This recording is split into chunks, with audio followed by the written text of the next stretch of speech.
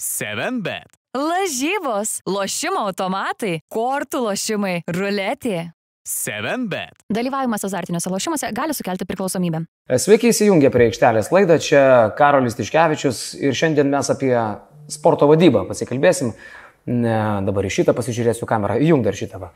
Martinas Purlys šiandien pas mus yra laidoj ir e, man atrodo, kad e, vasara yra labai geras laikas pakalbėti ne tik tai su e, krepšininkais, tuo labiau, kad šitoje šitoj laidoje apskritai krepšininkų nebūna, o su žmonėm, kurie, kurie tuos žaidėjus surenka ir šitas darbas jau yra iš esmės prasidėjęs. Tai sveikas Martinai, ačiū tau dar kartą, kad, na, nu, aš žinau, kad tu labai nenorėjai čia atvažiuoti, bet tu atvažiavai su Fiatu, atvažiavai, va? Kažkaip atvažiavau į šitą prūsų gatvę. Jo. Ja, sako, pas mus čia kažkaip žmonėm ten per duobės reikia užžiūrėti visą kitką, bet kai atvažiuoju į ofisą, tai visiems kaip ir patinka. Tai vat, gal ir pirmas klausimas, kaip tas basketinius lygis, ar jis yra pakilęs, kaip įvertina žmonės atvažiavę iš Cido arenų. Ne, tai viskas čia tvarkoja, aš pirmą kartą pas jūs svečiuosi, bet uh, nebuvau prieš tai kažkokiam tai ofise, bet čia viskas labai, labai faina, tikrai. Jauku. O tavo gyvenime būna pauzė krepšiniai? Gali kada sustoti? Turi atostogų realiai, kada tu nieko nedarai, kas susijęs su kažkiu? Ne. Užknisa šiaip, ne? Kažkas, man atrodo, Valinskas yra pasakęs, padaryk savo darbą hobį ir nereikės dirbti. Tai man patinka, ką aš darau, aš domiuosi, aš visą, visą gyvenimą su krepšinyje. Tai tik tai kažkiek kitokią formą, kažkada buvau žaidėjas, po to perėjau į kitą pusę administracinę pusę, kažkada agentų dirbau šiek tiek, tai visą laiką tas gyvenimas apie krepšinį, bet ne tik pas mane, bet ir mano šeimoje, tai ir mano draugai, tai nežinau, tai man tai visas tas krepšinis yra kaip ir gyvenimo dalis. Gerai, tai apie tą gyvenimo dalį aš va šiandien paėmiau ir prisirašiau visokių, tai čia e, pastebėjimų, paskirčiau šitą mūsų laidą pakalbėti ir apie vadybą, ir apie sporto vadybą Lietuvoje, nes, na, nu, įdomu pasikalbėti, kaip pat, pavyzdžiui, pats tu vertini tą lygį ir ko mums trūksta šaly. Ir aš net pabaigai pasilikau galvoju, kad galėsim net pažaisti žaidimą, kas būtų, jeigu aš būčiau Lietkabelio komandos vadovas arba vienas iš tų, kuris komplektuoja. Aš netgi pasidariau sąrašiuką žaidėjų, kurie, pavyzdžiui, šį sezoną, ši, šią vasarą galėtų papildyti Lietkabelį. Okay? Bet pavarom nuo pradžių. Ką tik baigėsi finalas, dabar jau atslūgo visos emocijos. Aš suprantu, kad finalo metu apie daug apskritai net kalbėti negali, nes yra kažkokiu dalyku, ką galbūt slepia klubas.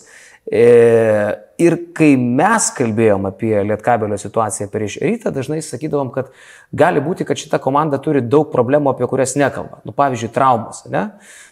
Kiek dabar jau galima sakyti, kad Gagičius buvo traumuotas nuo pusfinalio rungtynių su Žalgiriu, kai susižeidė koją? Kiek e, Lipkevičių žaisti negalėjo, kiek Gedraitis Davidas realiai žaisti negalėjo. Nes atrodė, kad tai yra daug lėtesnė komanda, negu šiaip šį sezoną prieš rytą e, mes matėm Lietkabelį. Tai galima imti pirštus ir, ir lenkti. Tai ja. Orelikas, Gedraitis, Berzinč, Gagič, iš dalies Lipkevičius buvo ir, ir tam tikrų problemų. Va, tai penki žmonės, kurie turėjo problemų, vieni daugiau, kiti mažiau. Jeigu įmant kiekvieną atskirai, tai Dovydui operaciją reikia daryti čiurnos valymą šią savaitę. Ten nėra nieko ypatinga, bet jam, bent jam skaudėjo. Gedui Orelikui irgi buvo tam tikrų tenai problemų, tokių laikinų, kuriam reikia laiko užgyti. Kasparui buvo ten uždegimas dešinės alkūnės, negalėjo mesti, automatiškai rotacija sumažėjo, kas irgi buvo labai svarbu tokiam etape. Gagičio irgi tenai buvo šiokių tokių problemų, kurių negalėjo pilnai treniruotis, kai negali pilnai treniruotis pilna jėga, tai atsiliepia formai visiems beveik. Nu tai va tą įmy vieną, antrą, trečią, ketvirtą, penktą, gauni kažkokį platesnį vaizdą ir tada gauni rezultatą. Bet tai, atsakai, tarsi Dovydui Gedraičiui nieko labai ypatingo, bet reikia operacijos. Tai tos traumos ar mikrotraumos jos atsiliepia realiai aikštelėje. Tai buvo dalykai, su... ar tai buvo tokio lygio susižeidimai, kurie kito lygio rungtynėse, tarkim, reguliaraus sezono rungtynėse, krepšininkai išimtų iš rotacijos ir žaidė jie tik todėl, kad tai finalas. O tai reikia žiūrėti, kad kiek laiko ta trauma e, tęsiasi ir kiek laiko tu žaidži treniruojasi, jeigu gali treniruoti su mhm. skausmu. Mhm.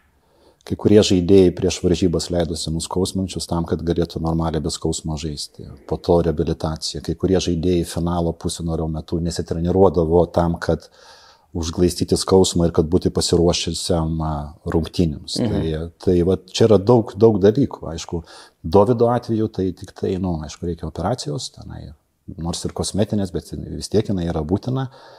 Tai yra skausmas, mačiau, kaip jisai Kesdavo skausmą, būdamas labai labai kantrus žmogus, bet irgi jo veidas, kaip grįždavo ant soliuko iš aikštelės, jau būdavo toksai perkriptas to skausmo ir, nu, buvo kaip buvo. Šiaip Radičevičius visą sezoną tokiu perkreiptų veidų irgi bėgiojo ir aš girdėjau e, Kleizos mintį, sako, nu, jeigu žmogus negalėtų žaisti, tai jis jau ir nežaistų, tuo labiau, kad tai yra legionierius. Gal kažkiek tame tokios vaidybos ar savęs pateikimo buvo Radičevičiaus veiksmuose šį sezoną? Kiekvienas mes esame e, savai reaguojame į skausmą. Mhm. Ne? Jeigu Davidas e, ne, neparodo savo skausmo, tai kitas galbūt daugiau išreiškia, bet tai, tai nieko nereiškia, kad jisai vaidina ar nevaidina. Taip toliau, paprasčiausiai mes tokie nu esame esame žmonės, vieni intravertai, kiti ekstravertai. Tai jeigu prisimant Niko, kada jis gavo traumą, jis gavo traumą per KMT, berots pusfinalį mhm. ar ne, antram kėlinį per pertrauką suleido nuskausminančiai ir jis ėjo toliau žaisti. Pasakoje, aišku, reikėjo tenai dviejų mėnesių, dviejų su pusę, kad jisai vėl išsigydytų. Kainavo, tai mus kainavo tą patekimą į finalą. Bet uh, sakau, Niko būdamas užsieniečių, tai padarė viską, kad mes patektume į finalą. O Gagičius jis irgi finale pastebimai išlūpčiojo. Kiek, kiek dabar jau galim kalbėti? Nes tada atsimenu, Čianakas sako, viskas tvarko, iš čia prašo keitimo visada, nu ne visada. Jis manęs net paklausė Čianakas, ar aš matęs Lietkabelio rungtynių ir sakau, visas treneriai. Ja. E, Gagičius pastebimai prašydavo keitimo sužaidus penkias minutės pirmam kelinį, e, jau pusfinalyje. Tai čia buvo dalykas tas, kad sužalgiai. Dalinai. Gavo aš, man, aš manau, traumą, dalinai. Gal ta, ta trauma nebuvo labai rimta, bet aišku, tai atsiliepia jo fiziniai kondicijai. Jeigu žmogus negali pilną jėgą treniruoti, tai aišku, jis negali ir išlaikyti tos savo fizinės kondicijos aukštam lygiai ir tada per užžybas tai atsiliepia, ar ne? Tai viskas susideda. Dar apie finalą šnekant. Turėjot ketverias rungtynės iki finalo su rytų šį sezoną, buvo 2-2. KMT pusfinalis fantastiška pergalė. Atrodė lygios komandos iš esmės. Aš net pasižiūrėjau, kad šį sezoną iki finalo su rytu buvo e, trys mačai, kurie baigdosi dviejų, trijų ir keturių taškų skirtumais. Nu, tai ir visi skaičiai, ir atkovoti kamuoliai, ir trajekai, viskas lygybė. Prasideda finalas, ir mes matom rytą bėgantį, tada jau ir apie tą fiziškumą visi pradedam staukti, nes pažiūrėk, koks čia rytas, visi čia jauni Radzevičius, Butkevičius, Normantas, kaip čia jie apstumdo, kaip čia koks čia greitis, Lietkabelis niekur nespėja ir staiga jums atrodo, kad tai yra skirtingo lygio komandos. Mm, mes šnekam tarsi apie traumas, bet rytas tą patį gali sakyti, nes rytas irgi turėjo traumuotų žaidėjų, galų gale prisiminkim, Laisneris iškrito, atrodo ir kairys kažkuriuose rungtynėse iškrito anksti dėl susižeidimo, visi turėjo tų problemų. Tai kaip iš esmės paaiškinti tai, kas atsitiko finale? Aš šiek tiek gal eičiau um, iki balan, nuo balandžio pradžios pradėčiau mūsų etapą ir palyginti su rytu, jeigu taip galima padaryti. Mhm. Žiūrėk, mes dabar balandžio pradžioj turėjome uh, labai svarbi išvyka į Hamburgą ir tiesiai po to išvyka į Paryžių. Tai bus, tai sprendėsi mūsų Europos taurės likimas, kurią vietą užimsime. Tai. Tai vis grįžę, sekančią savaitę skrydom į Boloniją. Vėl, tai yra svarbios rungtynės, tai, kurios reikalauja ne tik tai fizinių, bet ir emocinių lygų. Tai buvo laikas, kai jūs per kokias aštuonias dienas užžaidėte gal ketverias, penkerias rungtynės. Taip, toliau grįžę, mes balandžio pabaigoje turėjome rungtynės su Žalgeriu, su, su Rytu. Taigi vėl tai yra svarbios rungtynės, ar ne, kurios lemia mūsų galutinę padėtį. Prisiminkime, kokia buvo įdomi pabaiga, nes nežinojom, kas kokią vietą užims ir kokia intriga buvo. Toliau, gegužės pradžią, mes pradedam playoffs. Pradedam playoffs su Utena. Rimtas varžovas, gera mm. komanda nors ir 3-0, bet kiekvienos rungtynės buvo žiauriai, žiauriai įtemptos ir vėlgi tai reikalavo ne tik, taip, ne tik tai fizinio, bet ir psichologinių jėgų. Ok, einam toliau, pusinarį turim žalgerį, komentarų nereikia. Ir jeigu lygintim e, su rytu, gerai, rytas iš čempionų lygos balandžio mėnesį jie iškrito. Jie turėjo LKL, vienos rungtynės, ten kai kada gal dvi rungtynės per savaitę su LKL komandom Jos, jie stabiliai ruošiasi, jie, jie neturėjo tiek svarbių rungtynių balandžio mėnesį ir jie turėjo, mano galva, nesakau, kad jie ne, nepelnytai laimėjo, jie pelnytai laimėjo, jie čempionai, viskas tvarkoj, bet lyginant mūsų pasiruošimo kelią, ką mes nuėjome iki finalo ir ryto, mes turėjome sunkesnį kelią. Ir tai atsiliepia, mano galva, tai atsiliepia. Pridedam visas šitas tvarkaraštį ir pridedam visą traumatumą, ką mes turėjome. Aišku, rytas irgi turėjo, beje, galbūt nesako ten, bet nebejoju, kad, kad turėjo. Plus, man labai patiko kažkieno mintis, kad, sako, jūs kai laimėjote su žalgariu pusinarį, sako, jūs jau galėjote taurę kelti tada, sako, jūs jau viduje buvote čempionai, nes, nu, laimėti seriją prie žalgarį pirmą kartą, visą tą visą mes jau žinome, reikia vėl atrasti jėgų, laiko reikia, kad koncentruotis ir dar vienam kalną, į dar vieną kalną užlipti. Tai taip tai sunku buvo. Šiaip turbūt dar reikia pridėti, kad finale buvo daug nuvylusių žmonių. Man, pavyzdžiui, nesakau, kad šokiravo, nes tai buvo ne pirmas kartas šį sezoną, bet gal kiek nustebino, aš mačiau to žmogaus kilimą, kalbu apie Panajotį Kalaidzakį. Jis sunkiai žaisdavo prieš rytą visada šį sezoną, turėjo iki, iki finalo gal vieną neblogą mačą. Šiaip visi buvo silpni, 6,5 taško vidurkis prieš rytą šį sezoną iki finalo finale jis iš vis atrodė klaikiai. Ir, jau atkrintamosiose jis pradėjo atrodyti klaikiai, mesdamas tritaškius metimus. Aš manau, kad tai jį demoralizavo galutinai. Jisai baigė sezoną per pastarąsias devynerias atkrintamų rungtynės įmetęs gal 4-5 tritaškius iš vos ne 40. Ten, ten tokie kraupų skaičiai buvo. Ir aš mačiau, kaip jis jau pasimetęs bėgioja aikšteliai. Ir aš galvoju, kad toks finalas, čia gal net du klausimai. Pirmas, tai kur dingo Kalaidzakis? Apskritai atkrintamosios. Tai jaunystė. Ir antras dalykas, Ar nėra taip, kad šitas užhypintas žmogus, kuriam jau kontraktus ir Panatinaikos ir Olimpijakos dalina, po tokių atkrintamųjų turi labai gerą progą grįžti į žemę ir tuo pačiu gal net ir nusimušti, ne tik tai, sakykime, savo sparnus apsikirpti, bet ir tą kontrakto vertę šiek tiek, būsimo kontrakto vertę susimažinti, juk tokia galimybė irgi yra. Ne? Po to, ką pamatė visi didėjai. Tu atsakėjai du klausimus. Idealiai, žinai, tai jo, pirmas dalykas, kad yra jaunystė, jo, jisai Prisiminkime, kur jisai buvo lygiai prieš metus, ar ne, nu, sakykime, 21 metų vasario mėnuo, tai yra kedainių nevėžys ir, ir, ir taip toliau. Taip. Prisiminkime netgi praeitą vasarą ir jo pradžią, kokia sunki jo šito sezono pradžia buvo, tai ir po to kokį žingsnį jis dėjo ir mes liktais bandome suprasti ir, kaip sakyti, įvertinti tą, kad jis jau turi žaisti ir, ir visas rungtynės. Nu, ne, tai finalinės serijos playoffai tai yra kita įtampa, kita, kita atsakomybė, tai ir ne visi žaidėjai tuo iš karto gali tą padaryti. Tai vėlgi mes esame skirtingi. Jeigu Davidas ramus, jisai kitokio temperamento, jisai kaip mašina.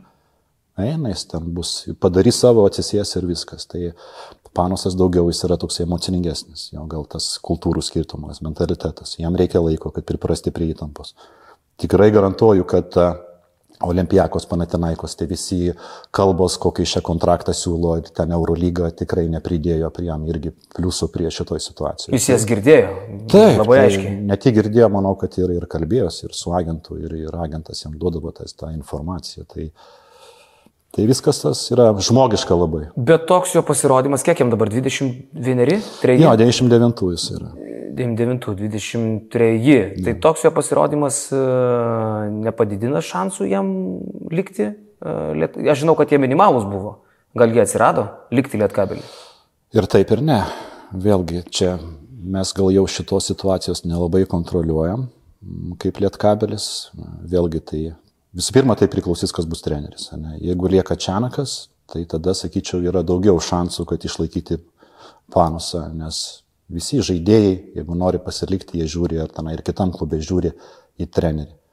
Kalbasi, kokią rolę bus, ką treneris žada ir tada modeliuojasi, kur jam geriau. Tai, e, tai sakyčiau, šansų yra, bet manau, kad nuo Čianako daug kas priklauso. Kada Čianako sprendimas bus?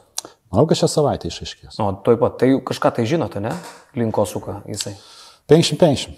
Tai čia nemažai, nes atrodė, kad tikrai paliks komandą. Kam atrodė? O, tarsi susidomėjimas didelis, vokiečiai ten kažką tai svirpia. Ne? Didesnis negu paprastai buvo susidomėjimas, bet buvo klubų, jo, kur atmetė pasiūlymus. Tai ir kaip yra. Grįžtant dar prie Kalaidzakio temos, jis padarė žiaurę pažangą vasarą. Mes kalbėjome, atsimeni, tarp vasarą, kiek jisai daug dirba ir koks jisai kitoks turėtų žengti į naują sezoną. Kokios šito žaidėjo lubos yra? Ką, pavyzdžiui, fizinio rengimo treneriai išneka, ką išneka Čianakas, galų gale pats turi didžiulę patirtį, ne? Kokios šito žaidėjo lubos ir galimybės, pavyzdžiui, jau kitą sezoną būti dar vienu mutavusiu Kalaidzakio variantu? Tokiu, kokį mes pamatėm, pavyzdžiui, rugsėjo mėnesį. Nu, gal lapkritį. Aš suprantu, kur tu lenki. Aš negaliu būti labai objektivus, nes labai norėtume mes turėti Kalaidzakį ir kitais metais. Ir ja. aš sakyčiau, kad jam dar per anksti įeiti kažkur į kitą, į Eurolygos klubą ir tai parodo, tai parodo vat, finalinė serija playoff, mm. ar ne. Vis dėlto reikia sustiprėti ne, ne tik tai fiziškai, bet ir psichologiškai ir būti pasiruošusiam ir užtikrintai eiti į kitą lygį. Aš sakyčiau, kad Panasui dar būtų gerai pasilikti prie gero trenerio Europos tauriai. Jeigu lieka Čianakas, tai prie Čianako. Pažįsta visą situaciją, pažįsta rolę, Čianakas moka jį išnaudoti ir taip toliau. Tai mano galva būtų jam dar gerai pasilikti tam lygiai.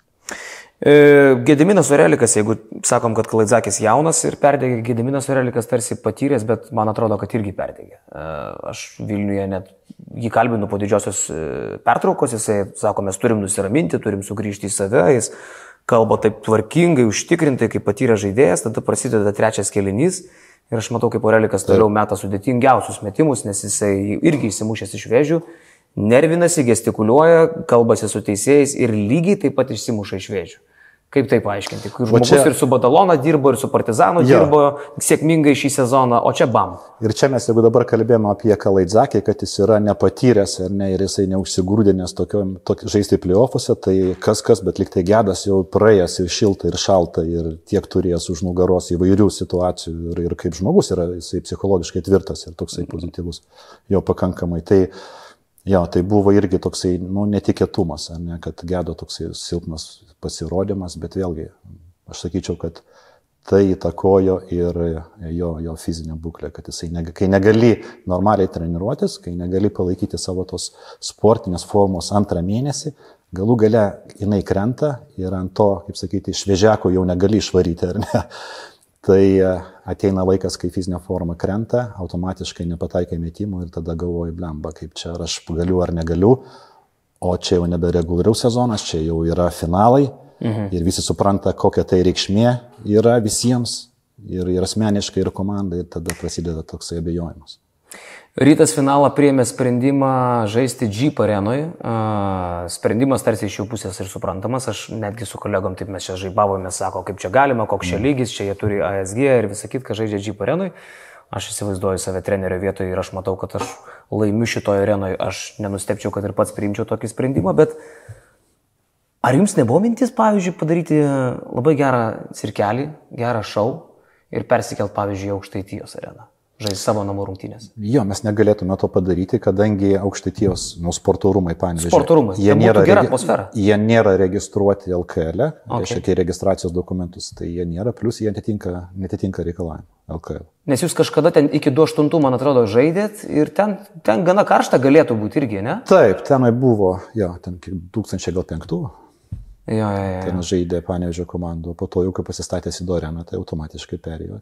O kas jūs labiausiai netenkino žai- žaidžiant Jeep arenai? Turiuomenį iš... e, Ar kalba apie apsaugą, ar apie tai, kad maldūno tėvui ten problemos buvo prie suolo, ar dar kažkas, tai nes jūs nebuvot labai patenkinti tuo sprendimu, teisingai?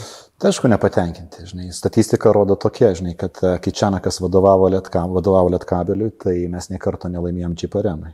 Taip, taip. Nu, tai nėra visai tiesa, aš paskui patikrinau, buvo, buvo ten per galytę. Kaip Jo? tik atėjo, jo, jo, jo. Kada? Dabar vėl reikėtų man atsisukti, bet kai mes pasikalbėjom, tai gal 18 a, buvo laimėta džipė. Nu bent jau tai prašo LKL istorijos, LKL TV. LKL, Gerai, LKL gerai, tai dabar tai, nu, okay, tai reiškia, gerai, tegul vieną kartą. Jo. Dabar gal tu irgi pataisysi, kad ASG arenoj rytas vadovaujant Čianakui nėra laimėjęs prieš mus. Nu bent jau šį sezoną tai O akivaizdžiai. nuo 18 metų. Kiek jūs ten bežaidėt, klausimas, žinai. Nu tai žaisdavom. Jo, Tai... Žaisdavom. Ir... aš tiesą sakant šito labai netikrinau, bet, Jo. bet nenustepčiau, kad taip galėjo būti. Gal vieną kitą pergalę. Bet tai rodo vis tiek, statistika rodo, kad mums geriau žaisti didelėje arenoje, rytui geriau žaisti mažoje arenoje. Mes treniruojame Sido arenoje, pripratę prie erdvių, rytas atvirkščiai. Sirgaliai, matėm, įtaka žiauriai. Šalia viskas. Čia panašiai kaip Belgrado pionero arenoje. Mhm. Tai viskas. Tai atmosfera kitokia, tai aišku, natūralu, kad mums geriau žaisti ten, kur laimi pergalių daugiau. Atsėmėt e, uždarimo vakare geriausios organizacijos apdovanojimą.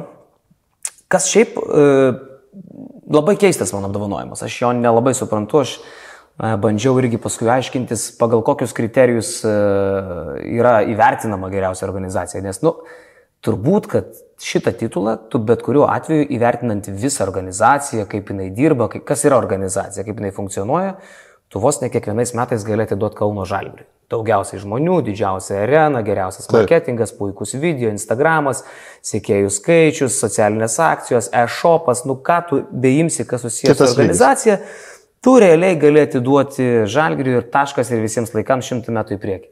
Ir aš turiu net pasiūlymą LKL, aš galvoju, kad šitą nominaciją reikia iš viso naikinti, jinai nieko nesako Lietuvoje ir apdovanot geriausią sporto vadybininką. Tai va tu prieš laidą pasakėjai komplimentą man, aš pasakysiu komplimentą tau, bet tai irgi nebus pataikavimas, nes tą rodo faktai. Man atrodo, kad tą būtų galima labai lengvai skaičiais pagrysti.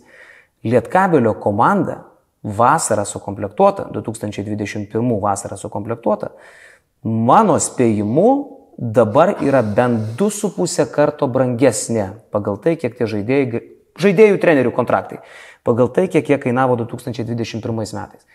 Tai ko gero būtų sunku surasti kitą klubą, kuris vasarą surinko žaidėjus savo kainą padvigubinusius, arba kitais atvejais manau, kad rastume, kas ir patrigubino ar keturgubino. Tai geriausio sporto vadybininko apdovanojimas, man nebereikalo Biliauskas senoje tavo atidavė tą statulą, ne? Man atrodo logiškai, pagal tas, tą parametrą jis lengvai apskaičiuojamas, čia nėra mylių, nemylių, jis tau turėjo atitekti. Bet čia ir klausimas yra, ar pats tuo metu, kada su Čianaku, greičiausiai dviese rinkot komandą, ne, tu ir Čianakas, Biliauskas nežinau, kiek ten pridėjo ranką. Ar tuo metu, kai rinkai komandą, ar tu galėjai bent geriausiam sapne susapnuot, kad šitai pataikysi? Aš turiu bent kelių žaidėjų sąrašą, kurie mane pribloškė. Aš kalbu ir apie Oreliką, ir apie tą patį Dovydą Gedraitį, be abejo apie Kristų pažemaitį, Panajoti Kalaidzakį, netgi Gabrielių Maldūną. Nu, dabar aišku, kad ir Gagičiaus vertė pakilo. Ar tikėsi, kad šitai pataikysi? Tai reikia viškai plačiau žiūrėti, ar ne? tai kaip mes, kaip mes dirbam jau klube ar ne komandai klube, tai mes nedirbam vien tik tai, kad Čianakas ir aš. Na, yra, yra Lukas mano kolega, kuris darbą dirba didelį. Yra trenerio asistentai Laimonas Eglinskas, kuris irgi komplektuoja komandą, prisideda. Yra derina viską su Alvydu Beliausku. Yra ten keturių, penkių žmonių grupė, kuri įneša savo indėlį į kiekvieną žaidėją, savo informaciją, kas ką gali gauti, uh, savo nuomonę ir taip toliau. Ir po to ta, mes tą informaciją griname. Mes prieš laidą su tam išnekėjome, kad neturim to skauto ir taip toliau, bet e, tokioj, tokioj situacijoje tai nėra mano ir Čianoko vien tik tai darbas. Tai yra kiekvieno žmogaus kruopelytė, su kuriuo mes tarėmės, būtent komplektacijos darbais. Kiekvienas įneša savo, savo nuomonę, savo informaciją ir tada mes išsigryninam tą visą, tą visą reikalą.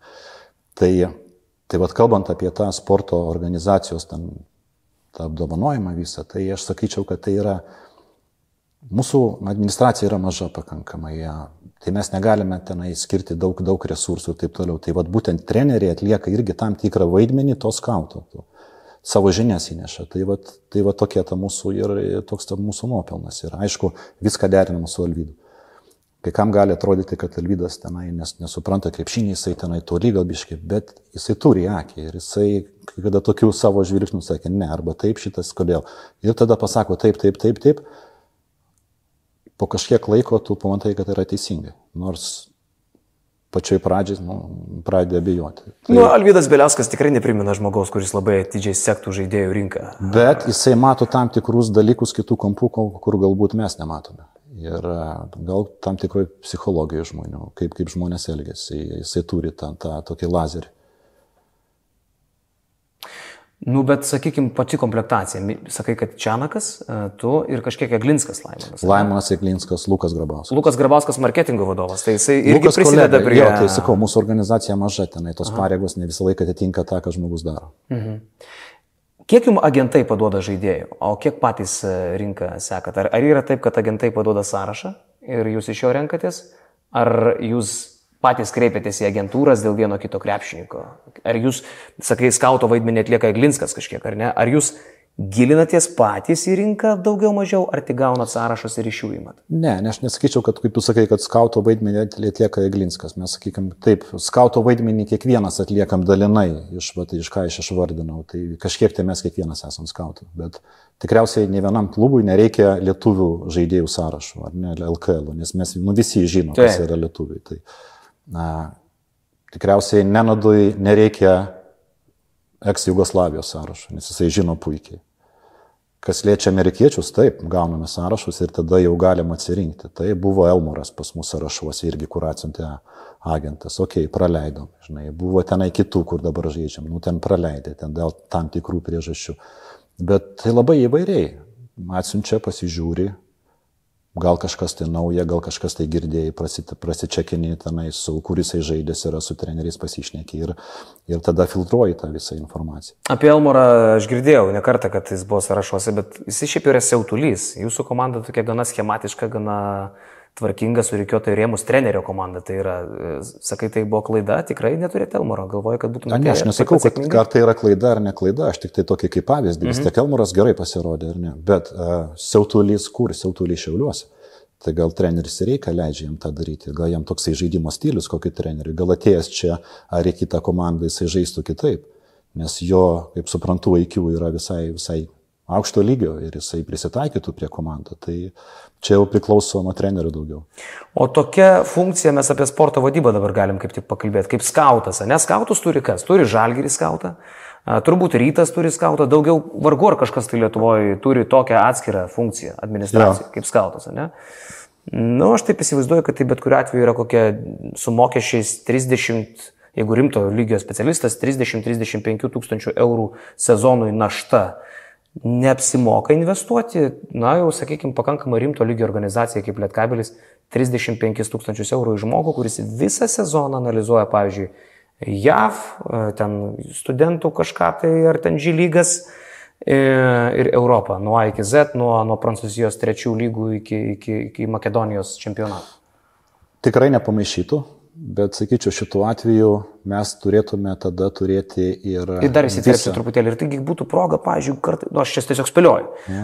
gal kokį keturių metų kontraktą kalt kokiam perspektyviam 20 metų serbuksui, žinai kurio galbūt šiaip nepastebėsi ir agentai tau nepuls jo siūlyti arba kažkas iš vietinių lygų ypač. Nėra tokių dalykų, kur agentai nepastebi, skautai NBA nepastebi ir taip toliau. Tai visi didieji klubai dirba ir, ir žiūri ir NBA ir labai retai, kada praslysta kažkoks tai perliukas mhm. be agentų ir taip toliau prieš 15-20 metų taip galėjo būti, kad Džinobilį buvo pašauktas San Antonijos Spurs, ten, žinai, paskutinių šaukimų, žinai, ir po to gauna mm. po trijų metų maksimalią. Dabar jie įvertina tą Džinobilį, ten tą visą situaciją, NBA sakė, mes negalim padaryti kitos klaidos. Ir tada jau tenai dėjo visas pajėgas į, į Europą ir tenai yeah. nuo 15-16 metų visų žino visi klubai. Tai va, tai mums nepamaišytų, aišku, bet realybė yra kitokia, kad uh, Tas, tas skautas būtų jisai funkcionalesnis, jeigu mes turėtume savo, sakykime, piramidę, taip, taip grubiai stari, žinai, mokykla, sistema, dublerių komanda, kur galėtų tenai ir, ir ne tik tai užsienį dirbti, bet ir Lietuvoje čekinti, NKL, RKL ir taip toliau. Vat, vat tokius dalykus. Mhm. Tai šiai, šiam, šiai dienai mes tokių galimybių neturim, tai yra riboti resursai. O tokių specų apskritai yra Lietuvoje, nes mes turbūt ant rankų pirštų jas žinom, kas Algymantas Brūžas į galvą ateina pirmų numerių. O, o dabar kas... šios savaitės naujiena tautvidas Ležas.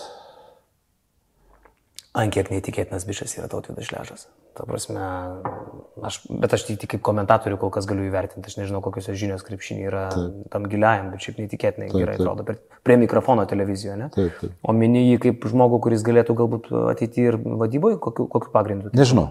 Nežinau. Tiesiog, tikrai, taip, ne? Jo, man tai jis tikrai, kaip ir tau tikriausiai patiko, mm. mes esam su juo bendravę ten prieš 2-3 metus ir dar atsimenu, kai jisai perlė žaidė. Tai net netikėjau, kad jisai gali nu, pakreipti tokią ir taip, taip mintis dėlioti ir tokį supratimą, ne tik apie krepšinį, tai apskritai mintis gerai dėlioja jisai, tai nu, džiugu už žanoris. Mhm. Panevežį buvo bumas per finalą. Ir pusfinalį jau buvo soldautas, ko nebuvo visą šį sezoną. Aš taip galvoju, kad gal nėra paslapties, kiek tai padidino komandos biudžetą neplanuotai, nes turbūt nesitikėjot, kad bus sezono pradžioje niekas nesitikėjo, kad šita komanda taip toliais. Tai... Čia buvo keturi soldautai. Jo, jo, buvo keturi soldatai, tai nu, padidino biudžetą. Ženkliai padidino. Tai, apie ką šnekam, apie kokius 200 tūkstančių? Jo, tarp šimto, jo, daugiau negu šimto. Tokių neplanuotų įplaukų, kiek nebuvo numatyta. Vis tiek planuoji. Ne? Planuoji, kad žaisi, kad daugiau ateis negu sausio mėnesį, žinai. Bet, bet kiek pranoko surinkti pinigai už bilietus prieš planuotus? Nu, kaip Paulius Matinas, pavyzdžiui, skelbė sezono pradžioje, kiek tikimės ir paskui paskelbė, kiek surinkom, žinai. Nu, tai 50 procentų tikrai daugiau. Nu, tai tikrai, čia, tikrai tai, tai čia yra visas, ką žinau, visas trenerių štabas. Tai labai solid, šiaip jau. Tai atsimeni, kaip, kaip buvo sezono vidury, ar ne, kai žaidėm su Europos taurės turnyrė ir kai atvažiuodavo geras komandos ir, ir nesirinkdavo ir kažkam aš čia sakiau, kad Jofano, mes nieko nepadarėm daug, mes, mes darėm tą patį, ką viso sezono metu. Ir nežinau, gal čia tas rezultatas atėjo, žinai, toks įdirbis, negaliu aš pasakyti, bet panevyžys pasikeitė per, per nežinau, per, per kelias dienas. Tai, nu džiugu. Nu, sunku tą panevežėti prisijaukinti. To atsakymą aš suprantu, kad ieškojot sezono metu, kodėl jie neina į areną ir, ir turbūt ir dabar nėra iki galo jo, ne? Ar turit kažkokį tai paaiškinimą? Vėlgi, čia galima kalbėti, diskutuoti tai pandemiją. Kovos dėl titulo, žinai. Pandemija, ten e, kainos per didelės, po to kainas dabar sumažinam, kai jau Sido arena tapo mūsų jau nebe partnerė, bet komercinė jau, jau kainos buvo nuomos, tai šiek tiek galėjome daugiau reguliuoti. Tai Tas, žinai, tas galėjo viskas prisidėti. Galbūt miestiečiai pamatė, žinai, galbūt patikėjo, galbūt e, pradėjo visą Lietuvą šnekėti ir, ir dažnai šnekėti, vat, kad Lietkabelis čia gerai varo tikrai ir, ir gal viskas susidėjo. Tiesiog. O koks buvo jūsų biudžetas įskaitant ir žaidėjus, trenerius? Nes žaidėjim treneriam apie milijoną tris šimtus, tai kažkur ne, tai reikia žiūrėti. Ne, turit, ne, ne? Bendrai vienas keturi. Tai yra trečias biudžetas Lietuvoje.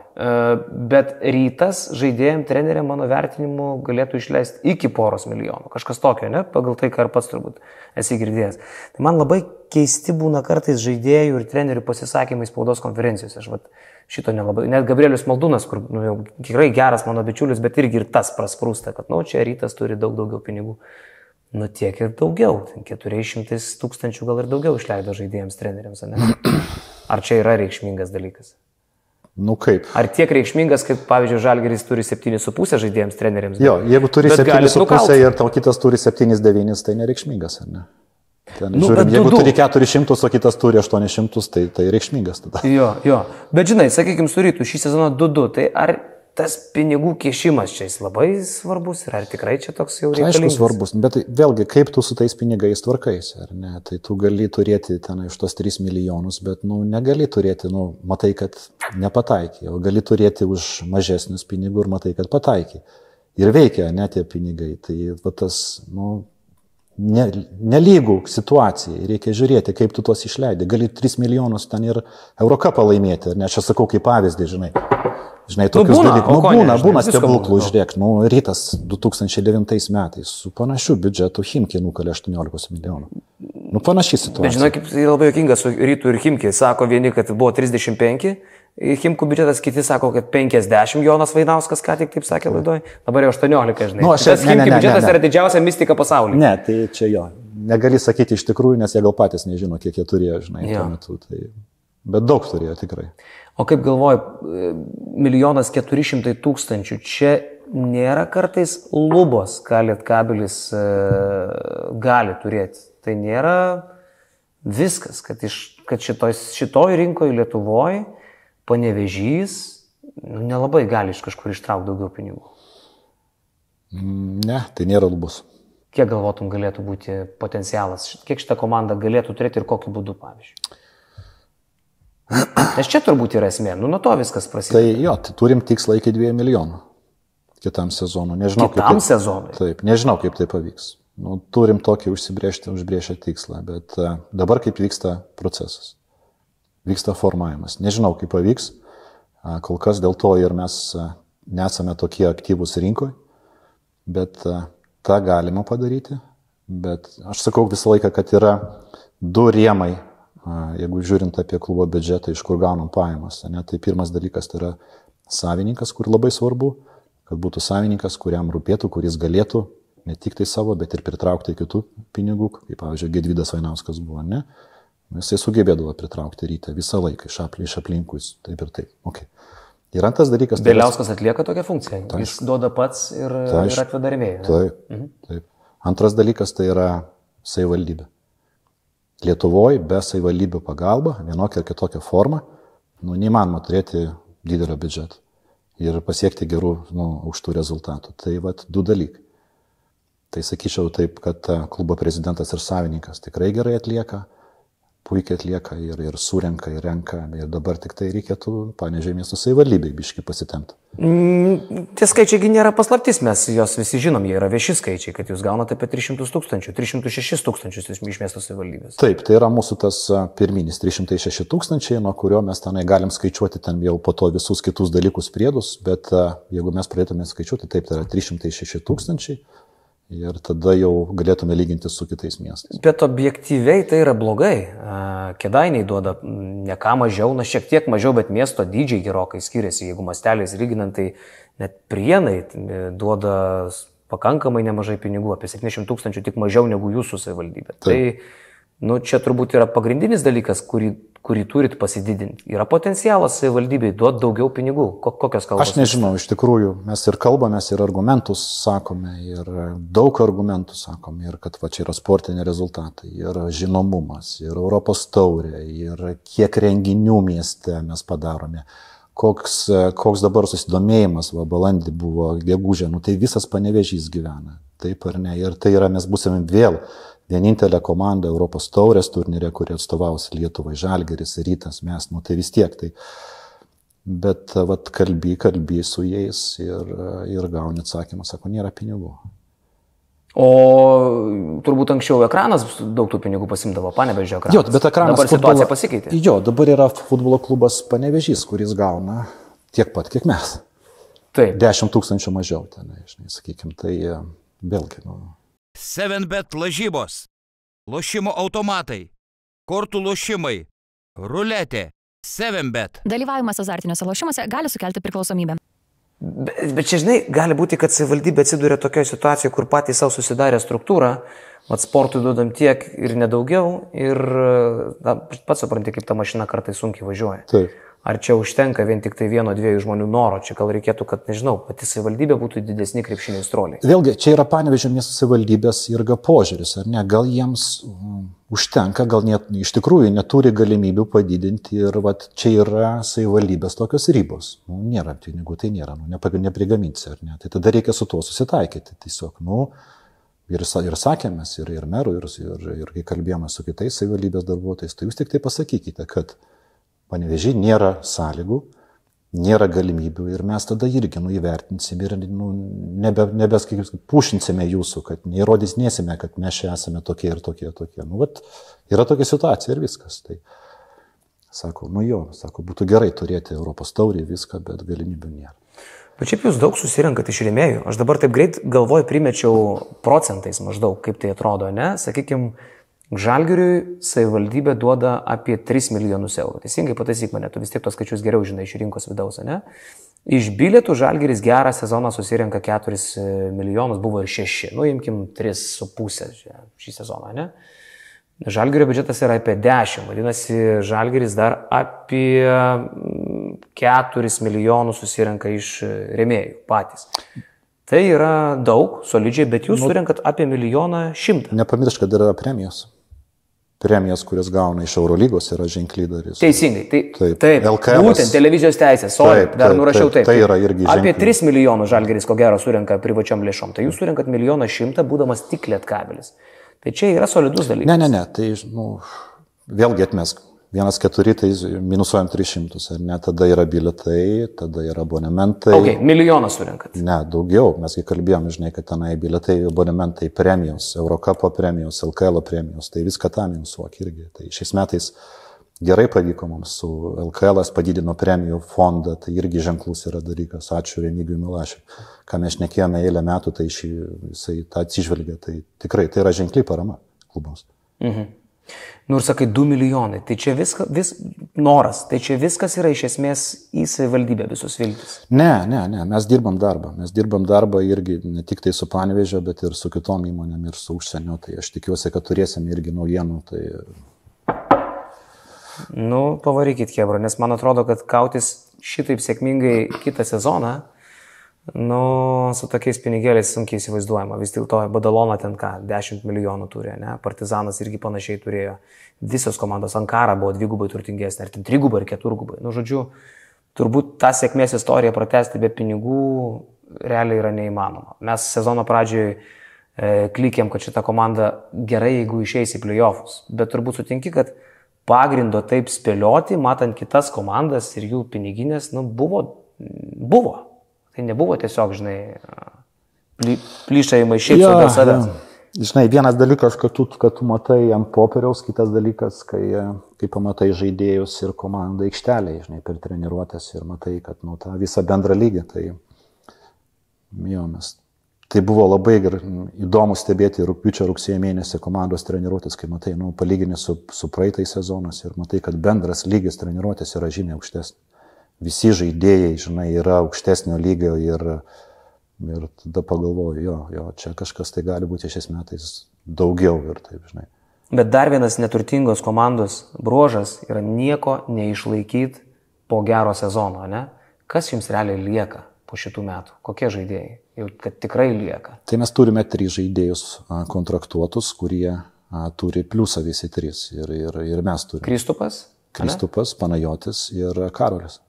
Tai iš jų tikrai galėtų likti, tikrai, tai Kristupas ir, ir Karolis. Dėl Panajočio čia, kaip ir pats sakai, šansų labai nėra daug. Tai, tai dabar prasideda didysis darbas, ne?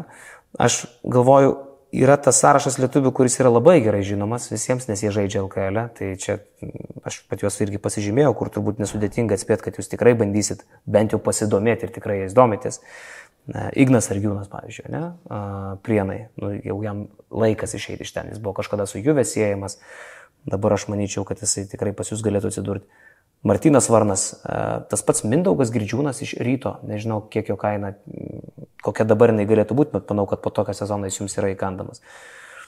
Ir pasižymėjau dar kelis tokius, kur galbūt nebūtų tokie akivaizdus, nes čia šitų, šitus, kur paminėjau, aš garantuoju, kad jie yra sąraše. Bet kaip, pavyzdžiui, tokie variantai.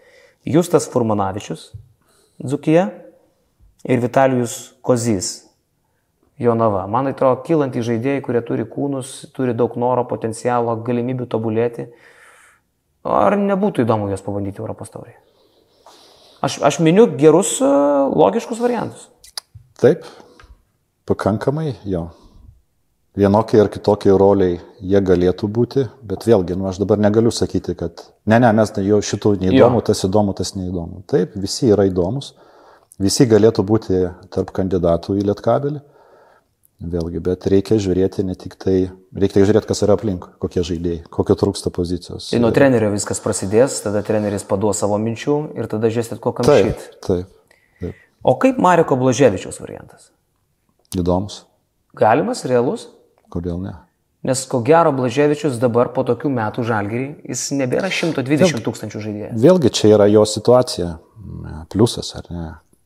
Jam tikrai, nu, klausimas ne mums. Pliusas klausimas iš jam. jo ar iš klubo aš dabar neatsimenu. Nežinau, ar iš jo, ar iš jo, bet mm. ar iš klubo, ar iš paties Mariko, bet klausimas tikriausiai jam, kaip jisai įsivaizduoja, kur jisai įsivaizduoja. Gal jis nori važiuoti į užsienį, o gal jis kaip tik nori pasirinkti Lietuvoje ir tai taip, Marikas, nepaslaptys, kad mes jo norėjom jau čia prieš porą metų ir kai jis negaudavo žaisti žalgerį, tai buvo pašnekėsiai tokie, bet a, neįvyko dylas, neįvyko. Įdomus vaikis yra, nu, tikrai potencialą turi ir manau, kad bus salkanas įrodyti. Jeigu Blaževičius ateitų į Lietkabelį, jis būtų pagrindinis centras pas jūs. Kas būtų, jeigu būtų, tai, nu, žinai, Aišku, žinai, Žinai, peršokam netgi du žingsnius į priekį. Tai, tai, tai aišku, tai nebūtų, tai nebūtų, sakykime, pigus žaidėjas, bet kuriuo atveju. tai jeigu tu įvardėjai tokią sumą, tai nu, lietkabeliui tai negali būti atsarginis. Įvardinau, bet aš neįsivaizduoju, kad jis po tokių trijų metų, ar kiek čia jis, trys metai praėjo, aš dabar net nesuskaičiuoju tos tragedijos, kiek truko tai kaune, bet Porą. aš manau, porą, jo. Aš neįsivaizduoju, kad jisai galėjo išlaikyti bent panašią kainą. Aš tikiu, kad jis to, tiek pinigų galėtų norėti, bet kad išlaikyti, sunku man patikėti. Ir lietuviai užsienyje, va čia man dar įdomiau. Mindaugas Ušinskas, aš netgi po vieną pavardį imsiu. Tai yra žmogus, apie kurį kalbėjo Marius Leonavičius pas, pas mus podcast'e. Taip.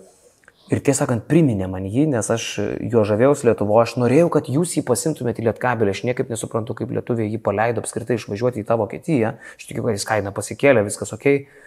Bet tai yra tokio potencialo žmogus, kur aš tada Lietuvoje komentuodamas rungtynės, aš galvojau, kad nu čia būtinai turi atsidurti kažkur tai, Lietkabelį, bent jau juviai. Kodėl taip neatsitiko ir ar šitą klaidą... Todėl, kad tai buvo ištaisyt? jo sprendimas, jisai buvo mūsų sąraše, kalbėjomės ir tai buvo tiesiog jo sprendimas išvažiuoti į užsienį. Okay. Ir, ir tai, manau, kad tai, nežinau, kaip būtų vėlgi, kaip būtų, kaip jisai būtų atsiskleidęs lietkabelį ir taip toliau, bet mm, Mano žiniomis jis turi dar kontraktą dar kitiem metams, yra ten tam tikri išėjimo galimybės, tenai opšanai, bet uh, jam gerai ten sekėsi. Ir jis, aš manau, jis atrado savo rinką ir smagu, žinai, gerai. Girdėjai Marijos Leonavičius Negirdėjau. bairiuką, kad netgi Sacramento Kings skambino Marijui Leonavičiui, kas man yra kosmos. E, taip, Marijui Leonavičiui paklausti dėl Mindaugo Sušinsko.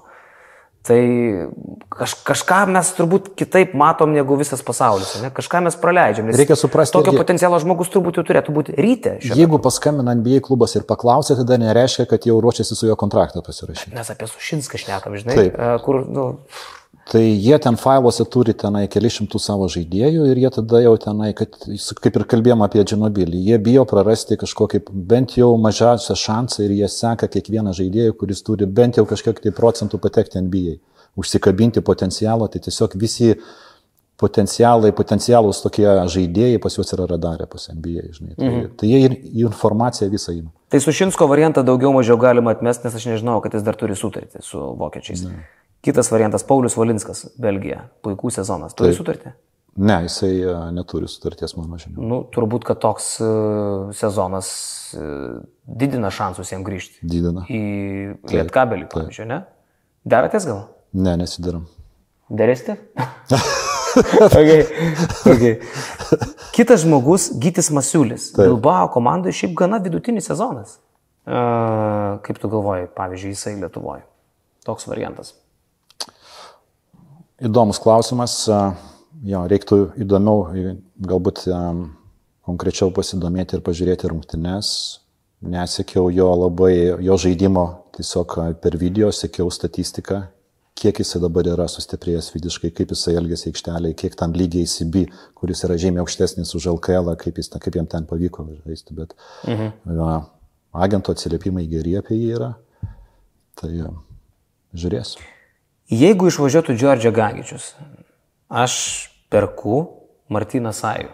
Nežinau, kiek tai įperkama žmogus. 17 Bet, tu, bet jo, balų. tu perki, tvarkoji. Ar tu žinai, koks Martino Sajos, kokie yra norai? Ar jisai nori grįžti į Lietuvą? Ne, aš jis- truputį juokauju. Taip. Aš suprantu, kad, žinai, čia yra Jo, daugiau tu provokuoji, klausimų. tu provokuoji. Aš, aš Jeigu provokuoji, tai viso gero, ne? Ne. Bet, suprantate, bet, vat, pavyzdžiui, jis yra dabar kokios kainos žaidėjas? Vat, aš, gali mane įvesti į kontekstą, kiek toks žmogus, kuris Vokietijoje renka po Manau, apie, 17 š- balų? manau, apie 100 tūkstančių. Šimtas ką.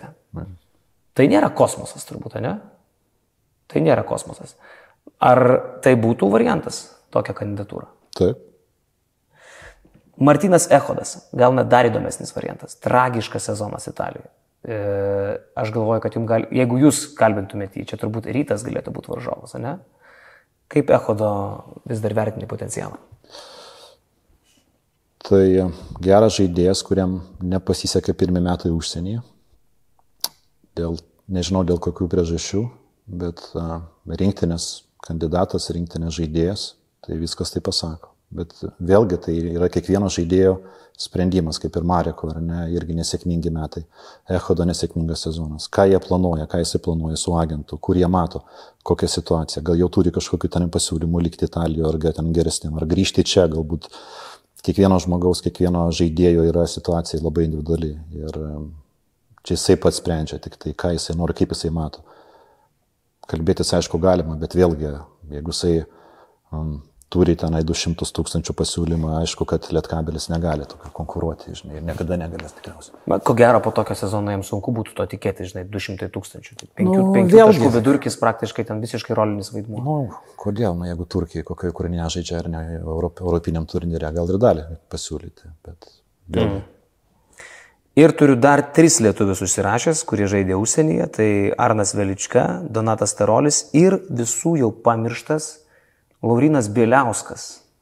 Žmogus, kuris žaidė Obradoiro komandoje antrą sezoną, bet e, nesekiau Bieliausko, dabar pasižiūrėjau, nu, man atrodo, kad visiškai rolinis vaidmuo. 15 minučių, 7. 12 minučių. 12 minučių. Penki taškeliai, uh, nieko panašaus į tuos pirmus blikstelėjimus ten praeitą sezoną, žinai, bet potencialo tai vaikinas turi nemažai, o kaina, aišku, turėjo kristi po tokių metų. Ispanijoje. Ar aš čia blogai galvoju, kad jeigu žmogaus skaičiai yra tokie, kad jo kaina krito? Nu, turbūt yra tame logikos, teisingai.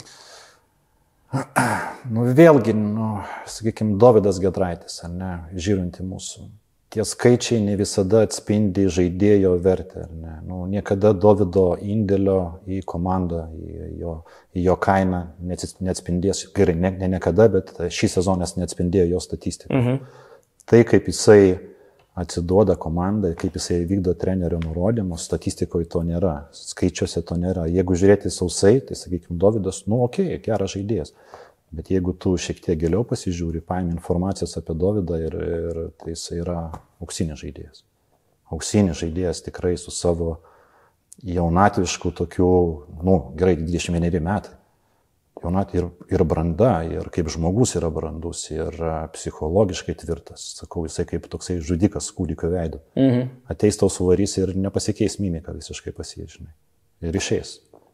Miklovas sako, kūnas jam atrodo per smulkus, kada nors žaisti Eurolygui. Nu, tas kada nors tai turbūt a, skambiai pasakyta, nes tu niekada negali žinot, kaip tu per vasarą gali sutvirtėti ir pasikeisti, bet kai tu žiūri į Karolį Gedraitį, kuris šiaip yra, kaip sako, vėlyvo brandimo, tikrai liauno kūno ir netvirtėja, gal ir Davidas genetiškai negali būti daug didesnis arba sutvirtėti. Kaip tu vertini Davido galimybės su jo kūnu žaisti Eurolygoje? Sutvirtėti, aišku, gali jisai. Tikrai. Paukti nebegali jisai. Aišku, Na, jam nereikia, jis 193, ne? 193 euro lygoje liktai norėtųsi, kad gynėjas būtų didesnis, ne, prie dabartinių saizų visų, kaip mes kaip akcentuojama viską. Tai Nu, kaip pasižiūrė į Larkiną su, su, su, su kitais, su Maiku Jamesu ar kitais mažiukais, nu, o kiek čia išskirtinio talento žaidėjai. aišku, duok tikrai- tokį, tokį greitį, tokį metimą ir tokį judrumą bet kuriam ir nereikia jokių čia, žinai. Mhm. Steve Curry, ne, irgi. Jo, tai, tai Davidas turi ispanišką pasą. Kas Jis ten at- turi grįžti, jo? Jisai, ne, studentas nepakliuvo į, į ACB. Studentas nepakliuvo, tai... Jis neturi grįžti, na, nepas, tu prasme, Nu kaip, tai reiškia, jisai ta pati situacija kaip ir šiais metais, kodėl jį išnuomavo. Todėl, kad studentas nežaidė įsibi, jie žaidė antroji lygoj. Tai todėl jisai buvo a, tam rinkoje, kur galima išnuomoti. Tai dabar Dovido vėlgi ta situacija, kad a, ga, nežinau iš tikrųjų, kaip, ką jisai darys. Ar jisai koncentruosis į Ispaniją, ar jisai vėl žiūrės Europoje situacijų. Tai dar nežinau. matai, šitos, šitos dalies apie jį nežinojau. Ok, studentas nežaidžia, tai ką, žais antrojo lygoje, žinai, teoriškai, jeigu priklausai klubui. A? Nežinau visų kontrakto niuansų. Galbūt kontrakte yra parašyta, kad a, klubas turi būti aukščiausias ICB lygos dalyvis. Jeigu jis nėra, tai automatiškai tada ieško kitų variantų, kad jisai žaistų kitam lygiui. Gal pačiam klubui ne, neapsimoka turėti žaidėją, kuris a, žaistų antrojo lygio geriau išnuomoti, kad jisai kiltų. O kiek dar galioja jo sutartis su studentais? Bet dar galioja porą metų, gal nežinau. tiksliai. Tai bandysit vis tiek tokį žmogų pasilikti Lietuvoje. Tai ne? mes labai norėtume. Tai vienareikšmiškai norėtume. Aš įsivaizduoju, kad kiti metai jam galėtų būti apskritai maks proveržio metai. Tuo labiau, kad nu, patys matom šitoje rinkoje čia nėra kažkokiu tai prūdų labai žinai. Taip. O legionierių jūs ten kažkokiu tai šimta tūkstantinių, nu, vargu bau, ar galėsit pasirašyti. Ne? Negalės. Jo. O Davidas Gedraitis Eurolygai, grįžtant prie klausimo. Pasiruošęs ar ne? Geras šitas. Geras klausimas. Jo. Geras, ne, neturiu atsakymą. Žalgerio potencialo krepšininkas. Taip. Nes va čia irgi diskusija, žinai. Ar Žalgeris, pavyzdžiui, turėtų siūlyti Dovydui Gedraičiui jau dabar. Tas studentės kontraktas Žalgerio maštabais turbūt nėra kažkoks neišperkamas, ne? Na, jeigu kalba apie 300 tūkstančių eurų išpirką, tai yra... O, tai Žalgeris moka ir Blaževičiui 150, kokios problemos. Geras klausimas. Ir kaip yra. Jo. Gedraitis rinktinėje. Dar vienas dalykas. Kaip tu matytum jo variantus? Šiandien dienai. Kad, apskritai, ką tai turi ta žaidėjas tokio, kad mes šnekam apie žalgyrį ir apie rinktinę? Nes mes šnekam. Mes daug šnekėjom apie jį dabar, tai visų pirma, tai jisai gynyboje, jisai gali užspausti kamuolį, žaidėjas su kamuoliu, kuris tenai nu, labai kybiai. Jisai gynyboje atidirbs tau ir nesivaikys taškų. Jeigu treneris pasakys, kad tu turi daryti tą, tai jis kaip kareivis tą ir padarys. Ir darys, kaip supranta, žiūrės į akis treneriui ir, ir vykdys visus įrodymus. Tai sakau, treneriui dirbti su tokiu žaidėju tai yra vienas malonumas visą laiką. Tai ir, ir geras žmogus, ir kaip asmenybė. Nu, sakau, tai. Bet gal Aukso gabalas. akiplėšos trūksta, žinai, savyje. Ne, Jeigu nu, klausai pasižiūrėk, visų nu, nurodymų. Tai per KMT pusmarį tai paėmė tą paskutinį metimą ir, ir priurbino ir viskas. Ir ramiai ir nuėjo jisai ant suliuko. Su tok- su tokiu Jis jis man tiesą sakant žiauriai patinka. Aš net galvoju, at man ir įdomu, žinai, at kur tokio bičio lubos, nes sako apie jo krepšinį vienas prieš vieną daug šneka. Aš gal kažką praleidau. Nežinau, aš to labai daug neužmačiau, kad jis vienas prieš vieną būtų koks nors geras streetballeris ir pats ten kažką labai susikurtų. Ar aš nepastebėjau šito? Gali susikurti. Kai kada net gal jam trūksta šiek tokio, tokio įžalumo, kai kada, kad e, paimti ant savęs atsakomybę ir, e, ir nuspręsti likimą. Ne? Kai kada gal per daug trenerių jisai žiūri, treneris man galbūt to, to nesakė, tai aš gal darysiu taip, kaip, kaip geriau komandai. Tai, tai čia Čia gal ateis su laiku tas visas, gal situacijos įvertinimas, gal kai turės daugiau dar užtikrintumo, jisai jau galės sakyti, va dabar man laikas, aš dabar padarysiu. Susidėliau žaidėjus e, nuo, iki, nuo penkto iki pirmo, kurie mane labiausiai nustebino šį sezoną. E, manau, kad vienas iš tų, kuris turėtų likti jūsų laive, tai yra Gabrielius Maldūnas. E, tuo labiau, kad tai yra panevežėtis, ne? Mm. Penktoje vietoje jisai tarp nustebinusių nebuvo, kad maldūnas pribloškė, nes mes tarsi ir žinojom, ką iš jo galima gauti, jisai nėra ekstra klasės talentas, jis yra juodadarbis, labai gudrų žaidėjas. Bet nustebino mane jo metimas, kurį daug kas e, pradžioj bandė lyginti su Printezio, aš paskui pasakiau, kad Hebra užteks. Tai tiesiog yra maldūno metimas, tas puskaplis. Iš kur po Vilnių jisai atsirado tas metimas? Dar praeitą sezoną tokio jo nebuvo. O dabar Meta maldūnas vieną rankelę, kad ir iš ten kokių keturių, nu, kaip, trijų su pusę metro, ramu, puskabliukas, bum, žinai. Kažkokia tokia, čia jau net ne printezio metimai, jo? Nu, turi kažką iš tokio printeziško. Ne, ne, tai yra, žinai, žinai, nuo vienos rankos. Tai. Teoriškai, nu tai viskas, yra. kas yra flauteris, viena ranka šiek tiek pašokus į priekį, jau tarsi yra printezė. Taip, taip. Bet... Nuo vienos, jis, nuo vienos kojos, bet kai nuo dviejų kojų varaitinai, tai... Čia jisai dirbo prie šito vasarą, kaip čia tas, ar čia tiesiog sezono metu kažkokiu būdu surado šitą ginklą? Aš manau, kad, nemanau, kad vasarą kažką jis ten atidibinėjo tokį metimą, nemačiau, kad jisai specialiai tą darydavo, tai darytų treniruotės metu, bet gal tiesiog jisai pajutė, natūraliai jam tas gaunasi, kai ateina užtikrintumas, matai, kad, kad pavyksta, tai tada ir, ir natūraliai bandai tą padaryti dažniau. Ketvirtoje vietoje mane nustebinusių sąraše yra Gediminas Orelikas. Čia kylam laipteliu aukštyn. E, sena klišė, aš nesitikėjau, kad šitas bičias dar apskritai gali žaisti krepšinį tokiam lygiai, bet kalbu tik tai apie pasirodymą iki finalo, nes finale mm, didelis klausimas, kas jam atsitiko. Gal irgi koks kontraktas jau pasirašytas arba mintis kažkur tai kitur, žinai. Bet e, ko gero ir jūs buvot nustebę, ne? Nu, Tai jeigu žmonės būtų žinoję, kad jisai gali mesti tiek į Partizano ar į Džiaventuto krepšį, ko gero jūs būtumėte jo neturėję komandai.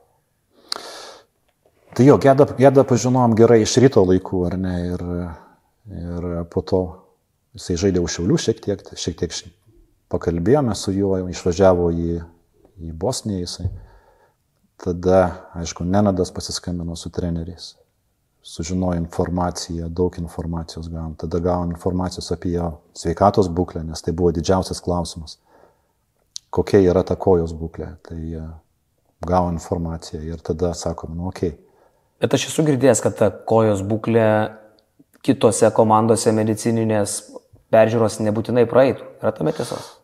Nu, matai, kai mes gavom informaciją iš medikų, kurie darė operaciją, su kuriais jis atlikinėjo reabilitaciją, Tai yra irgi labai svarbu, tai jie žino tikrai labai gerai paskutinius du metus, kurie buvo stakoję, sakykime, ja. tai žino visus pliusus minusus. Tai mes patik, pats, nu, pat, pasitikim tą informaciją ir patikėjom. Tai buvo, aišku, aišku, mes rizikavome, tai be jokių, be jokių abejonių, bet, uh, sakau, susitikom, pasišnekėjom, jisai pasikeitęs buvo, subrendęs, asmeninės tenai situacija, viskas stabili, viskas tvarkoja. Tai, tai irgi labai svarbu yra, ne? kai tu matai, kad žmogus motivuotas grįžti į gyvenimą, užsidirbti pinigų, žaisti, rodyti, pasiekti kažkokius tai tikslus, nu tai ok, tai sakom, davai. Trečioje vietoje Davidas Gedraitis, e, bet čia turbūt ne mane viena, aš net galvoju, gal jis aukščiau turėtų būti pagal tą, kaip jisai nustebino. E, tiesą sakant, iš estudiantės ten tu nelabai ką galėjai spręsti, kas tai per žaidėjas, turbūt Taip. tik tai dabar jisai prisistatė visai Lietuvai, bet mes apie jį jau daug šnekėjom.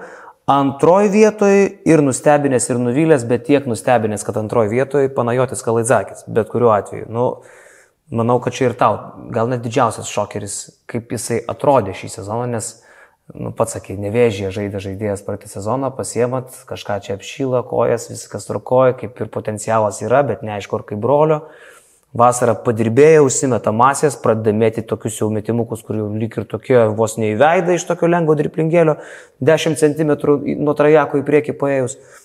Tai, tai didelis nu, nustebimas, bet mes irgi apie jį išnekėjom, o nešnekėjom apie pirmą vietą. Nu, tikrai, iš viso šito sąrašo, kas mane nustebino, Kristupas Žemaitis, kad Kristupas Žemaitis, atėjęs iš Alitaus Zukijos, Europos taurėjai, ramių veidų, žinai, bum, bum, bum, driplingėlis, ten visą kitą rankytę į priekį.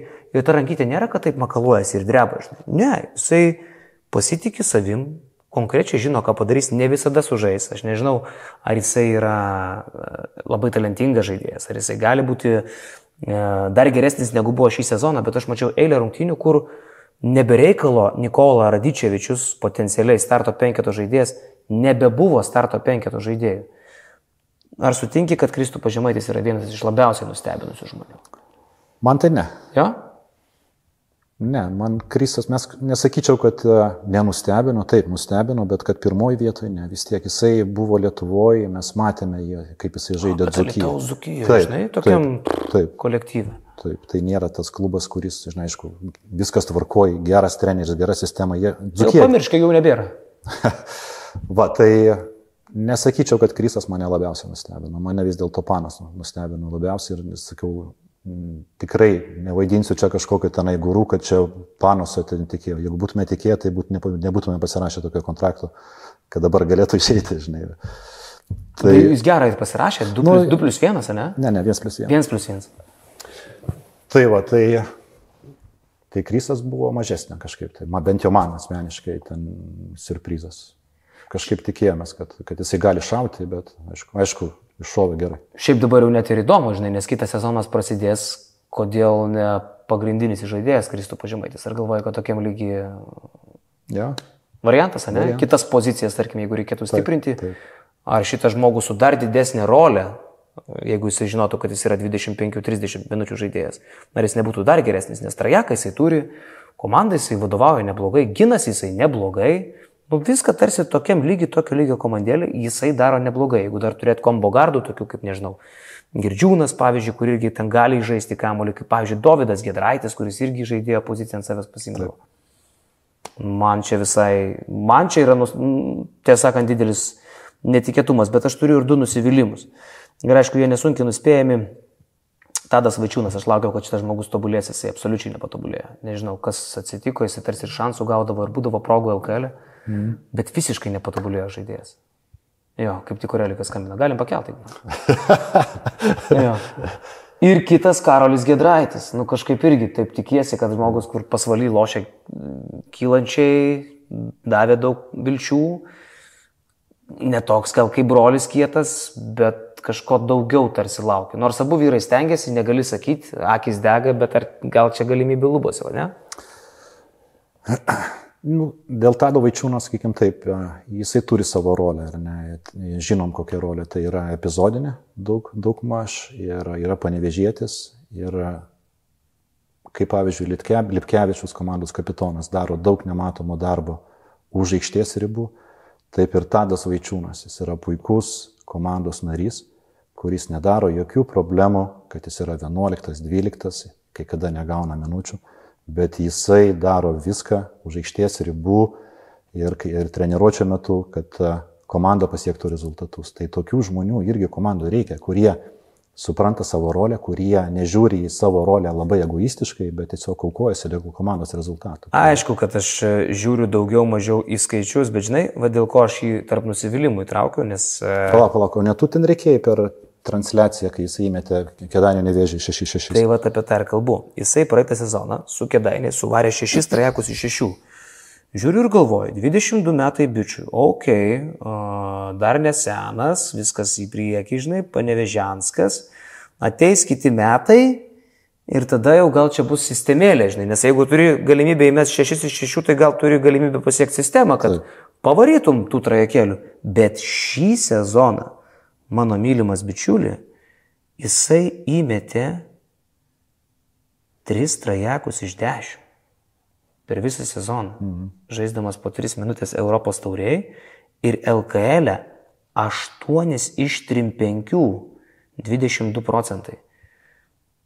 Tai čia sniperis ar nesniperis? Kažkaip. Ne, ne, jis nėra sniperis. Mm. Nėra sniperis, bet va tada kedainiuose atsitiko, kas atsitiko. Čia buvo netikėtumas labiau, ne? Tai jau. Kiek tokių atvejų, kad 6-6 per sezoną būna apskritai per LKL. Nu, Komplektacijoje girdėjau, kad norėjai turėti ilgą suolą vasarą su kolegom. norėjom. Ne? Norėjom. Norėjot, jo. E, kito vasaro uždavinys tą suolą palikti bent tokį patį ilgą. Turiuomenį, irgi stengsitės dalinti biudžetą plačiai, ar turėsit starų? Negalėčiau. Piniginiu dabar- atžvilgiu. Manau, kad taip. Negaliu dabar taip šimta procentų atsakyti, nes vis tiek tai yra bendras sprendimas, vėlgi tai su treneriu reikės diskutuoti ir e, kol neturim trenerio, tai aš negaliu sakyti, va, darysim taip, taip ne. Tai, tai vėlgi, tai bus treneris, tada sėsim ir žiūrėsim, kad kaip geriau komandai. Ir visai pabaigai. Jonas Vainauskas pas Pulkovskį laido čia sėdėjo dabar ką tik ir aš tokią įdomią mintį išgirdau. Sako Pulkovskis, kodėl e, Lietuvoje visi krepšininkai sukasi ratų, žinai, cirkuliacija tokia vyksta. Skučas ten sužaidė pasvaly, prieš tai Utenoj, Lietkabelį ir vėl kokiam pasvaly, Utenoj, Lietkabelį ir taip daugybė žaidėjų, žinai. Ir Jono Vainausko mintis buvo, aišku, ten irgi bičias, kur ir arogancijos yra ir visą kitką, bet mintis, ko gero, kad yra visai teisinga. Sako, todėl, kad Lietuvoje trūksta vadybininkų, kurie viską pažiūrėtų plačiau. Ir Jonas turi žiauriai gerą argumentą. Nenadas Čianakas po šiai dienai dirba Lietkabelį, kaip mes Vainausko erą bevertinsim, bet jis surado bičią, kuris daug prisidėjo prie to, kad panevežys yra tokia komanda jau ne vieną sezoną. Ne? Ir jį dar dabar siekit visais įmanomais būdais jį išlaikyti. Kas yra su mūsų sporto vadyba, kad mes sukamės tam pačiam rate ir kaip Jonas Vainauskas sako, nepasižiūrime viską gal šiek tiek plačiau ir tokių čianakų pas mus net važiuoja daug. Mes turim tos pačius trenerius netgi eilę metų LKL. -e. Kur bėda, sutinki, kad čia fantazijos trūkumas, kaip čia tą paaiškinti? Nu gerai, tai kad Čianakas yra lietkabelyje, tai yra pagrindinis pergalių kalvis. Tai, tai nenadas, tai viskas sukasi aplink jį ir visi laurai ir aplodismentai tikrai yra, nuo jo viskas priklauso šitos pergalės, ką jisai subūrė ir kokius rezultatus pasiekė. Atrasti tokį antrą, nu tai yra kazino, ar ne? Kad e, klubai rizikuotų tą daryti, vėlgi tai yra, nu, tai yra rizika, kiekviena rizika turi savo pliusus minusus, ar ne? Kodėl Jonas, kaip jisai, kodėl tą padarė, nežinau, čia jau reikia jo klausti ir ne, negaliu diskutuoti apie tai. Ar trūksta fantazijos? Mm, Na, ilgas, ilga diskusija, negalėčiau vienareišmiškai pasakyti. Tai vis dėlto mes kažkaip tai norim, kad e, būtų lietuviai treneriai daugiau, ne, kurie žino žaidėjus, kurie, kurie žino rinką, kurie filos mentalitetas galų gale, žinai, kuris atitinka mūsų požiūrį ir taip toliau. Ir va šituo atveju tai didžiausias laimėjimas, kad Čianakas yra, jis, sakiau, jis yra netipinis serbas. Jis yra geras žmogus ir va tas supratingumas iš jo pusės, kad atitiko, nu tikrai jisai supranta lietuvius, kur dabar daug diskusijų yra tenai apie Serbiją ir taip toliau, Ukrainą ir taip toliau. Bet jisai supranta, ko reikia klubui, jisai supranta mentalitetą ir jam patinka čia. Ir lietuviai jį mėgsta, ir, ir panevežėčiai mėgsta. Tai sakyčiau, Vat Čianako atvejis, kad jis yra užsienietis, bet a, jis atrodo, kad kaip lietuvis. Kas yra svarbu, ar ne? Kitasgi atvažiuoja užsienietis ir jisai žiūri tai kaip ir toksai, nu čia mano viena karjeros stotelė ir man neįdomu ir taip toliau, ir tos širdies, kad kur žiūri, kur toliau. Ieško, kas čia blogai, nu, su nenadu tokia. Tai vad linku aš link vedu, nu, kad nu, pasisekė ne tik tai kaip trenerių profesionalų, bet pasisekė kaip ir su žmogum. Kas yra nu žiauriai svarbu organizacijai, kad būtų žmogus, nu, kur atitiktų mentalitetą. Nežinau, aš tau atsakiau iš tą klausimą. Atsakė iš dalies. Tai aš galvoju, kad vienintelis variantas mums tos fantazijos ieškoti, tai yra tik tai Balkanų rinka. Nes uh, Balkanai kažką bendro su mumis turi, ne? Uh, amerikiečių tų kažkokių ten kačių maiše, maiše visada prisipirki, Lietuvoje jų pastoviai atsiranda, ne? Bet tokia gal mažiau ištyrinėta rinka, kurią Jonas Vainauskas, aš sakau, aš neturiu simpatijos Jonui Vainauskui, kuris tą labai gerai žino, bet faktai yra faktai. Balkanų rinka Jono Vainausko rankomis buvo labai neblogai pačiupinėjama, vis ten atsirasdavo kažkokių įdomių, variantų. Gal mes per mažai ten einam? Gal čia yra visai toks įdomus podas, kuris gali LKL atvesti įdomių vyrukų? Ar tu, jeigu nebūtų Čianako, ar Gagečius ir Radičevičius čia užžaistų? Abejoju. Gagičiaus palauk, iki Čianoko dar nebuvo teisingai. Ne, ne, ne. Jo, jo, jo, jo. Vėlgi, tai reikia žiūrėti kompleksiškai, žinai. Nu, gerai, jisai Čianakas žino, kaip su jais šnekėti. Kada šnekėti, kada, kada nu, žinai, tai čia vėlgi, tai net tu negali žiūrėti labai vienpusiškai, reikia žiūrėti kompleksiškai. Tai. Jeigu ateina, pavyzdžiui, Štelmakeris, ne, nu, į bet kokį klubą ten, jisai, kodėl jis gali ateiti? Todėl, kad jisai yra Latvis, mentalitetas panašus, žaidęs Lietuvoje, treniravęs Lietuvoje ir pasvalį, ir perlą, ir taip toliau, seka, kodėl jisai negali, jisai gali ateiti, ar ne? Tai e, vėlgi, žinom, kaip žmogus, ką jisai gali, ko negali. Aš įimu, pavyzdžiui, tokį, nu, šviežų, šviežų pavyzdį kaip Štelmacherį, ar ne? Tai, nu, tai reikia žiūrėti, ką gali žaidėjas, nu, treneris, ar ne? Ir nuo to reikėtų pradėti vat, tą visą, visą statymą. Aš norėjau tokias, vat, šiandien smulkmeną, žinai, paliest, kur, vat, tokius kampukus susižymėjau, ne apie viską ir apie nieką, o apie tokius, žinai, čik, čik, čik, čik, čik. Tai dėkui tau. Reikia skambinti Orelikui. Ačiū visiems žiūrėjusiems. Žiūrėkit, kokią lentelę turiu. Tai čia vat ir palaikinkit, ir prenumeruokit kanalą. Nu ir aišku, BN Plus nariais tapkite. Ginesa dar, ne? Ne visi. BN Plus, ten daugiausiai visko.